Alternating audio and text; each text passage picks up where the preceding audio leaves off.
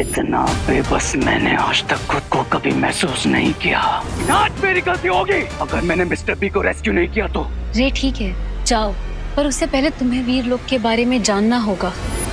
माँ कुछ पता चला? हर तरह से सच जानने की कोशिश कर ली पर बार बार ये वही कह रहा है कि यही रावण था और यही शिंकाई की वो बुरी शक्ति जिसे हम ढूँढने की कोशिश कर रहे थे।